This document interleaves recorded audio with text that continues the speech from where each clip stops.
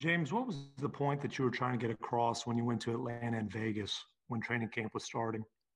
I was just training. What were you training for? Uh, the start the NBA season. How did going to Atlanta and Vegas help you there when the Rockets were starting training camp in Houston? Uh, just you know, my personal trainers.